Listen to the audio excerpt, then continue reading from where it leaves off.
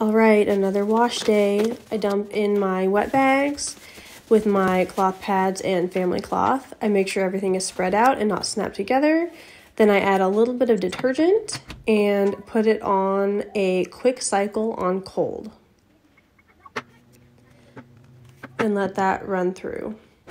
I decided to stain treat this time and I'm using the hydrogen peroxide in a spray bottle method. So after I sprayed them all, I let them sit for maybe five minutes on the side of the washer.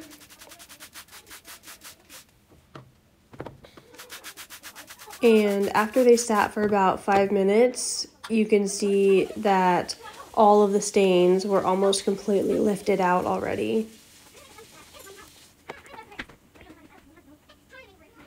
I'm not sure what happened this cycle, but almost all of the pads I used stained this time, and they usually don't.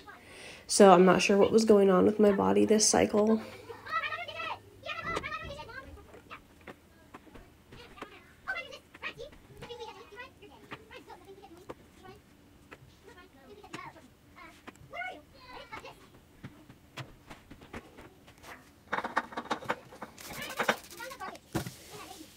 Ignore my dirty washing machine. It is cleaning day.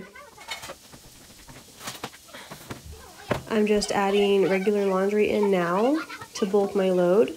I usually recommend not using anything bigger than a t-shirt, but I know how my washing machine handles uh, big loads like this. Now I'm putting it on a regular wash on hot, letting that run through.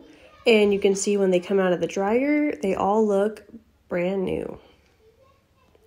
I think there's only two that have a little bit of shadow staining left on them.